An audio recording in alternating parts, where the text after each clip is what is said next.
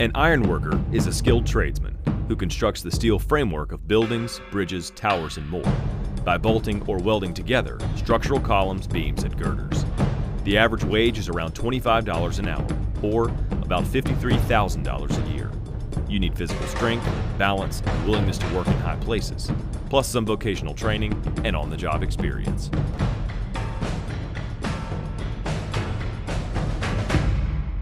My name is Romeo Chacon. I'm a journeyman ironworker, and I'm from Blount County, Alabama. I decided I was going to be an ironworker around 17 years old. School wasn't really my thing. I really like it. I like being outside. I don't think I could be in an office all day and just looking out a window. I, just, I couldn't do that. We pretty much do the skeleton of, of the building, just the strongest points, and then everything else goes up around it. Anything we do, really, you're going to be off the ground no matter what you're doing. First floor, second floor, third floor.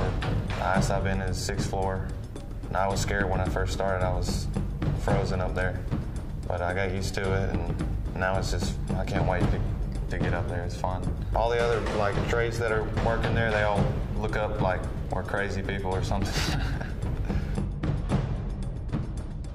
when you start on a new job, you level all the anchor bolts, stand columns, erect beams, plumb, get everything level, bolt up, impact the bolts, lay decking, weld, miscellaneous stuff.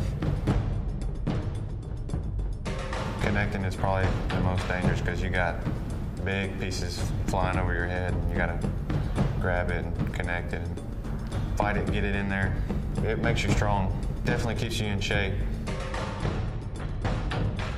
Yeah, there's definitely good money in ironworking. When I was 19, I, I had money in my pocket all the time. Bought a new truck. Everybody else still in school for another six years. I like ironworking because you travel all over the place, build new things. It's a rush, it's fun getting up on the steel. Every time I finish a job, I feel great because look back at it say that you built that.